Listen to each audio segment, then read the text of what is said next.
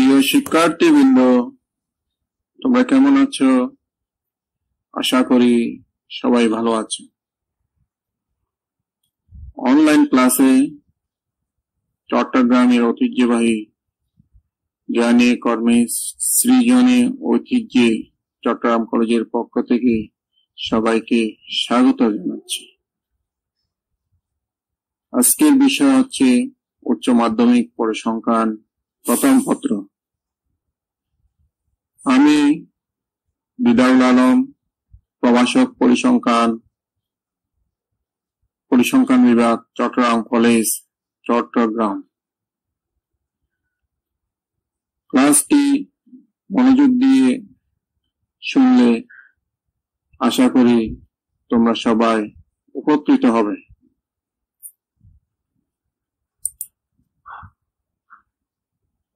যে আমরা চারটি ছবি দেখতে পাচ্ছি। প্রথম ছবিতে দুইজনের যে অন্তরঙ্গ মুহূর্ত এটা দিয়ে আমরা কি বুঝতে পারছি? এটা থেকে আমরা বুঝতে পারছি দুজনের মধ্যে চমৎকার একটা সম্পর্ক বিদ্যমান। দুই নম্বর ছবিতে আমরা দেখতে পাচ্ছি একজন ছেলে একজন তার ওয়াইফকে ছবি তুলতেছে। এখানে একটা আমরা রিলেশন দেখতে পাচ্ছি। তিন নাম্বার ছবিতে আমরা আরেক ধরনের রিলেশন দেখতে পাচ্ছি। দুজনের মধ্যে একটু রাগ ভাগ দুজনের মধ্যে হয়তো একটু মনোমালিন্য দেখা যাচ্ছে। চতুর্থ নাম্বার ছবিতে আমরা দেখতে পাচ্ছি, তাদের মধ্যে দা কমা সম্পর্ক। একজন আরেকজনকে হারাতে চায়, কেউ হার মানতে চায় না। চারটা ছবির মধ্যেই আমরা একটা সম্পর্ক বিদ্যমান দেখতে পাচ্ছি। ভালো, খারাপ বা অনুকূল, প্রতিকূল সম্পর্ক আমরা দেখতে পাচ্ছি। আজকের পাঠ হচ্ছে সংশ্লেষণ ও নির্বরণ অধ্যায়, ষষ্ঠ অধ্যায়, সংশ্লেষের ধারণা ও সংশ্লেষের দরম আজকের পাঠ শেষে আমরা যে জিনিসগুলো আমরা শিকন ফল শিখতে পারব, প্রথম নাম্বার হচ্ছে দ্বিচলক তত্ত্ব ও সংশ্লেষের ধারণা বর্ণনা করতে পারবে। সহজ সংশ্লেষণ ও এর ধারণা ব্যাখ্যা করতে পারবে। পরবর্তী স্লাইডে আমরা আসি দ্বিচলক তত্ত্ব, সংশ্লেষ ও সংশ্লেষাঙ্ক। প্রথমে আমরা দ্বিচলক তত্ত্ব কি এটা জানব। দ্বিচলক তত্ত্ব হচ্ছে দুটি তুলনাযোগ্য বৈশিষ্ট্যের প্রকাশ সূচক তত্ত্বকে দ্বিচলক তত্ত্ব বলে। একটা এক্সাম্পল যদি আমরা দিতে চাই, উচ্চতা এবং ওজন। স্লাইডে উচ্চতা এবং ওজনের একটা দুটো চলক দুটো চলক এর মধ্যে যে বৈশিষ্ট্য, একটা তাদের উচ্চতা ইঞ্চিতে দেওয়া আছে ওজন দেওয়া আছে কেজিতে। এই ধরনের দুটো চলক যদি হয়, দুটো বৈশিষ্ট্যের অধিকারী, এই ধরনের তত্ত্বকে আমরা বলি বিচলক তত্ত্ব। এরপরে আসি সংশ্লেষ। সংশ্লেষ শব্দটি হল পরস্পর সম্পর্কযুক্ত। অর্থাৎ দুটি চলকের মধ্যে পারস্পরিক সম্পর্ক থাকতে হয়। অর্থাৎ দুই বা ততোধিক চলকের পরিবর্তনশীল চলকের মধ্যে যে পারস্পরিক সম্পর্ক পরিলক্ষিত হয়, তাই হল সংশ্লেষ।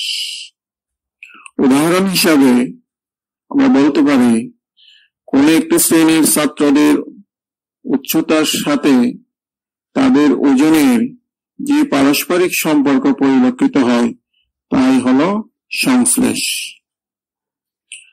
পরবর্তী স্লাইডে সংশ্লেষাঙ্ক। সংশ্লেষাঙ্ক কি? দুটি পরিবর্তনশীল চলকের মধ্যকার সম্পর্কের মাত্রা ও প্রকৃতি পরিমাপ করার জন্য যে গাণিতিক পরিমাপ করা হয়, তাকে সংশ্লেষাঙ্ক বলে পরিসংখ্যানবিদ কার্ল পেয়ারসনের সংশ্লেষাঙ্ক নির্ণয়ের জন্য একটি সূত্র প্রদান করে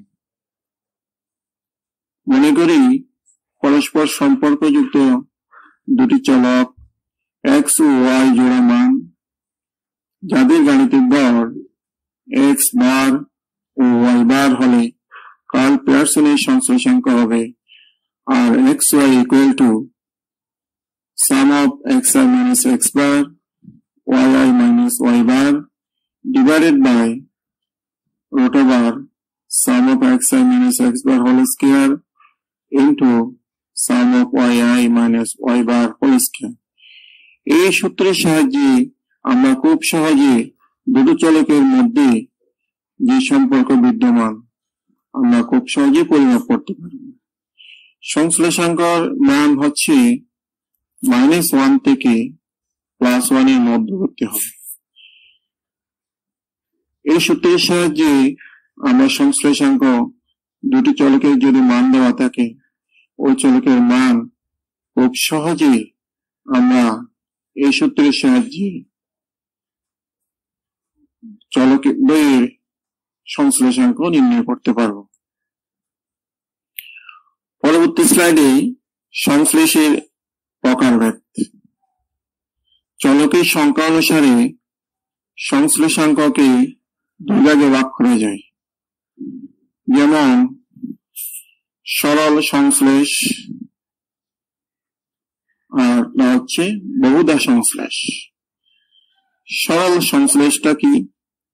যদি দুটি চলকের মধ্যে একটি চলকের পরিবর্তনের ফলে যদি অপর চলকের সমদিকে বা বিপরীত দিকে পরিবর্তন ঘটে, তাদের মধ্যকার সম্পর্ককে সরল সংশ্লেষ বলে।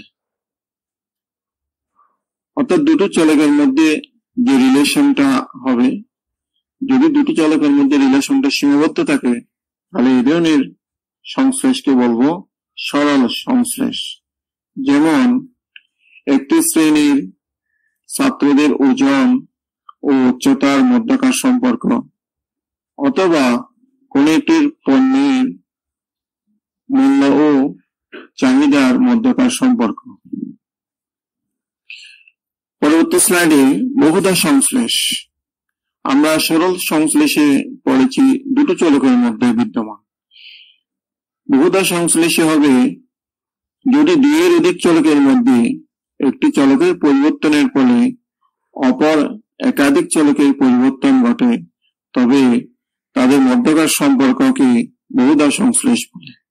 অর্থাৎ দুইয়ের অধিক চলকের মধ্যে যদি সম্পর্ক হয় সম্পর্ক থাকে এ ধরনের সম্পর্ককে বলব আমরা মাল্টিপল কোরিলেশন বা বহুদা সংশ্লেষ। উদাহরণ হিসাবে যদি আমরা বলি, কোন একটি শ্রেণির ছাত্রছাত্রীদের বার্ষিক ফলাফলের সাথে তাদের পারিবারিক আয়, পিতামাতার পেশা, পরিবারের লোক সংখ্যা ইত্যাদি মধ্যকার সংশ্লেষাঙ্ক নির্ণয় করা হলে তাই হবে একটা বহুদা সংশ্লেষ। তাহলে আমরা দুটো সংশ্লেষ জানলাম। একটা হচ্ছে সরল সংশ্লেষ আর একটা হলো বহুদা সংশ্লেষ। সরল সংশ্লেষ হচ্ছে দুটি চলকের মধ্যে বিদ্যমান আর বহুদা সংশ্লেষ হচ্ছে দুই দুই অধিক চলকের মধ্যে সম্পর্ক।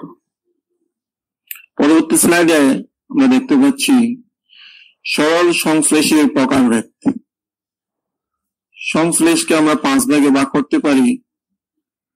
একটা হচ্ছে আংশিক ধনাত্মক সংশ্লেষ, পূর্ণ ধনাত্মক সংশ্লেষ, আংশিক ঋণাত্মক সংশ্লেষ, পূর্ণ ঋণাত্মক সংশ্লেষ ও শূন্য সংশ্লেষ। পাঁচ প্রকার সংশ্লেষ আমরা আজকে জানব। পরবর্তী স্লাইডে আমরা দেখতে পাচ্ছি আংশিক ধনাত্মক সংশ্লেষের একটা গ্রাফ দেওয়া আছে। তাহলে আংশিক ধনাত্মক সংশ্লেষটা কি? একদম সিম্পল একটি চলকের মানের বৃদ্ধিকে অপর চলকের মান বৃদ্ধি বা একটি চলকের মানের হ্রাসে অপর চলকের মান যদি হ্রাস হয়, কিন্তু চলকদের মান পরিবর্তনের অনুপাত ধ্রুবক হয় না। তবে চলকদের মধ্যে বিদ্যমান সংশ্লেষকে আংশিক ধনাত্মক সংশ্লেষ বলে। সোজা হচ্ছে একটি চলকের মানের পরিবর্তনে অপর চলকের মানের পরিবর্তন যদি হয়, সেটা মানের বৃদ্ধিও হতে পারে অথবা হ্রাসও হতে পারে। কিন্তু হ্রাস এবং বৃদ্ধির পরিমাপটা হচ্ছে, পরিবর্তনের অনুপাত হচ্ছে ধ্রুবক হবে না। তাহলে এই ধরনের সংশ্লেষ যদি হয় সেই ধরনের সংশ্লেষকে বলব আমরা আংশিক ধনাত্মক সংশ্লেষ। আংশিক ধনাত্মক সংশ্লেষের মান হবে zero less than r less than one অর্থাৎ জিরো থেকে ওয়ানের মধ্যবর্তী আমরা যদি আর এর মান পেয়ে যাই, তাহলে ওয়ানের থেকে ছোট, জিরো চেয়ে বড়, তাহলে ধরনের সংশ্লেষকে বলব আমরা আংশিক ধনাত্মক সংশ্লেষ। একটা ছোট্ট উদাহরণ যদি আমরা দিতে চাই, কোন দ্রব্যের মূল্য বৃদ্ধির ফলে দ্রব্যটির যোগান বৃদ্ধি হয়। এই দুই বৃদ্ধির অনুপাত ধ্রুবক নয়। ফলে এখানে দ্রব্যের মূল্য যোগানের মধ্যে আংশিক ধনাত্মক সংশ্লেষ বিদ্যমান। পরবর্তী স্লাইডে আমরা দেখতে পাচ্ছি পূর্ণ ধনাত্মক সংশ্লেষ। পূর্ণ ধনাত্মক সংশ্লেষ কি? একটি চলকের মানের বৃদ্ধিতে বা হ্রাসে, অপর চলকটির মান সমানুপাতিক হারে বৃদ্ধি বা হ্রাস হয়। তবে চলকদের মধ্যে বিদ্যমান সংশ্লেষাঙ্ককে পূর্ণ ধনাত্মক সংশ্লেষ বলে। পূর্ণ ধনাত্মক সংশ্লেষে মান অর্থাৎ আর ইকুয়াল টু ওয়ান হবে। একটা এক্সাম্পল যদি আমরা দিতে চাই, খুব সহজ, বৃত্তের ব্যাসার্ধের বৃদ্ধির ফলে উহার পরিধি বৃদ্ধি হয়।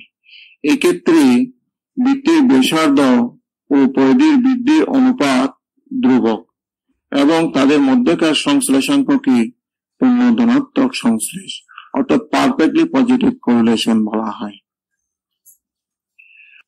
পরবর্তী স্লাইডে আমরা যেটা দেখতে পাচ্ছি, আংশিক ঋণাত্মক সংশ্লেষ।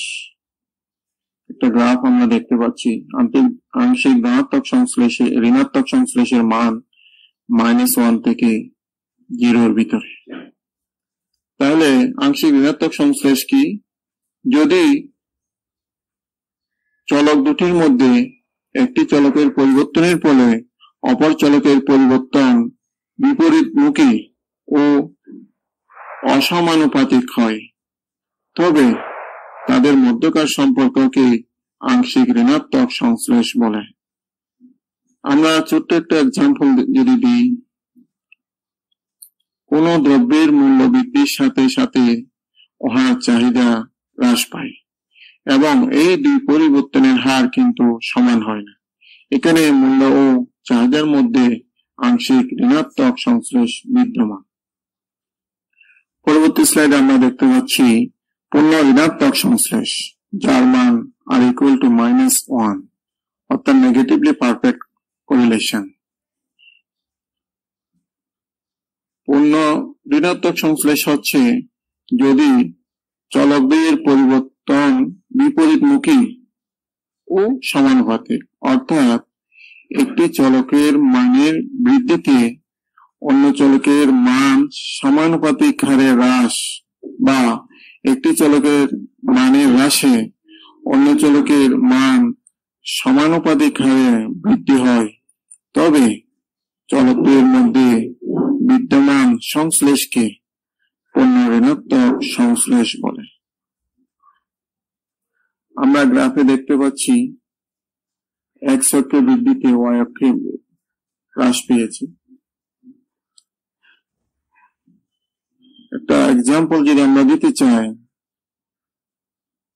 স্থির তাপমাত্রায় গ্যাসের চাপ বৃদ্ধিতে একই অনুপাতে উহার আয়তন হ্রাস পায়। তবে এদের মধ্যকার সম্পর্ককে পূর্ণ ঋণাত্মক সংশ্লেষ বলে। পূর্ণ ঋণাত্মক সংশ্লেষে r equal to minus one অর্থাৎ আর এর মান যখন আমরা পারফেক্টলি মাইনাস ওয়ান পেয়ে যাব, তাহলে এই ধরনের সংশ্লেষকে বলব আমরা?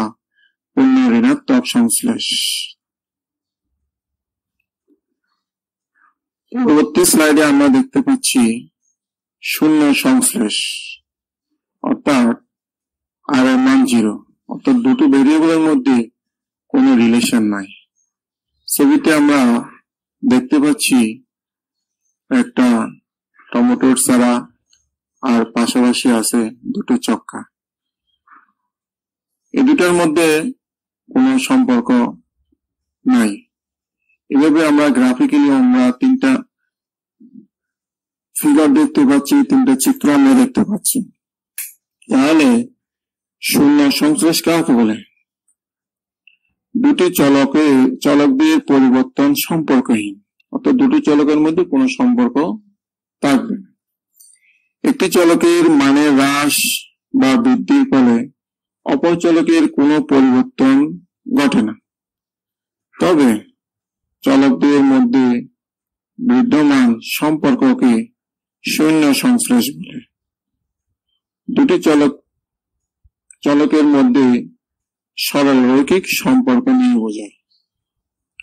উদাহরণ হিসেবে আমরা যদি একটা এক্সাম্পল দিই, তাহলে লবণের মূল্য হ্রাস বা বৃদ্ধির ফলে এর ব্যবহারের কোনো পরিবর্তন হয় না।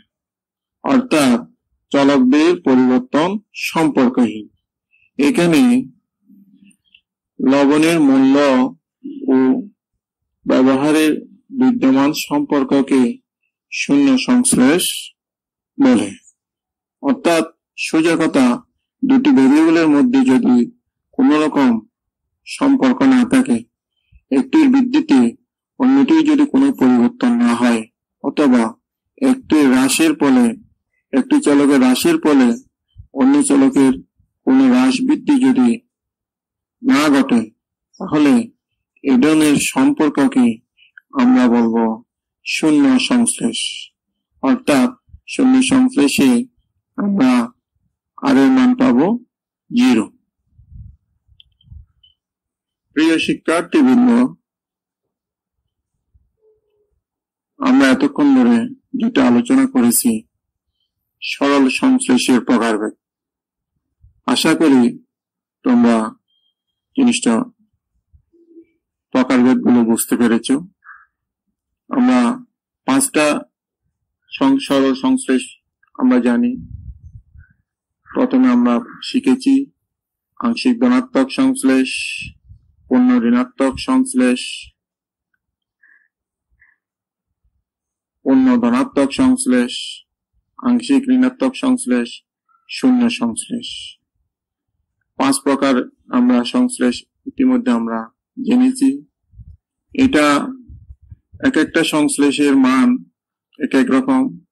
আংশিক ধনাত্মক সংশ্লেষের মান হচ্ছে জিরো থেকে ওয়ানের মধ্যবর্তী আর পূর্ণ ধনাত্মক সংশ্লেষের মান হচ্ছে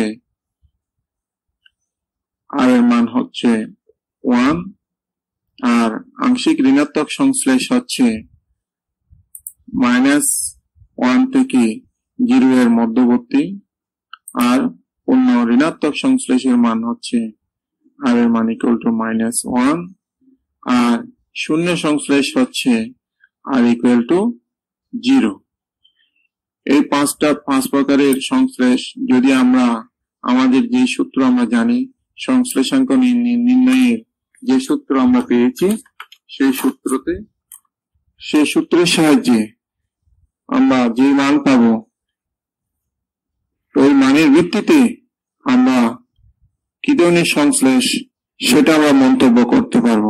আশা করি তোমরা বুঝতে পেরেছ। প্রিয় শিক্ষার্থীবৃন্দ, আজকে আমরা যা শিখলাম, সংশ্লেষ কি? দ্বিচলক তত্ত্ব কি?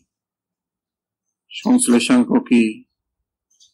সংশ্লেষাঙ্কের বিভিন্ন প্রকারভেদ আমরা ইতিমধ্যে আমরা জানতে পেরেছি। এই পর্যায়ে যদি মূল্যায়ন আমরা দিই মূল্যায়নের প্রথম প্রশ্ন যদি হয়, সংশ্লেষাঙ্কের ব্যাপ্তি কত আশা করি তোমরা খুব সহজেই উত্তর দিতে পারবে। আরেকটা প্রশ্ন যদি করা হয়, ধনাত্মক সংশ্লেষ কি? তাহলে খুব সহজেই তোমরা ধনাত্মক সংশ্লেষের ধারণা ব্যাখ্যা করতে পারবে। আরেকটা প্রশ্ন দেওয়া হয়েছে, মন্তব্য করো r equal to one r equal to minus one r equal to zero এবং দুটো গ্রাফ দেওয়া আছে। তিনি আমরা যে প্রকারভেদগুলো পড়েছি, এই প্রকারভেদগুলার মাধ্যমে আমরা তার মন্তব্য খুব সহজেই দিতে পারব। সামনে তোমাদের বার্ষিক পরীক্ষা, বার্ষিক পরীক্ষায় এবং উচ্চ মাধ্যমিক পরীক্ষায়ও এই অধ্যায় থেকে অবশ্যই প্রশ্ন হয়। আশা করি তোমরা ভালোভাবে থেকে আনসার দিতে পারবে। এরপরে একটা বাড়ির কাজ এই জন্য একটা অঙ্ক দেওয়া হলো। এখানে স্বামীর বয়স এবং স্ত্রীর বয়সের তথ্য দেওয়া আছে। এই দুই ধরনের তথ্য থেকে সংশ্লেষাঙ্ক নির্ণয় করতে হবে এবং এটার উপর মন্তব্য করতে হবে। আশা করি আজকের ক্লাসে তোমরা তোমাদের উপকার হবে বলে আমি আশা করি। সহজেই বোঝানোর চেষ্টা করেছি। আশা করি বুঝতে পেরেছ। এবং সবার সুস্বাস্থ্য ও মঙ্গল কামনা করে আজকের অনলাইন ক্লাস আমি এখানে শেষ করছি। পরবর্তীতে আগামী আবার দেখা হবে ইনশাআল্লাহ। আল্লাহ হাফিজ।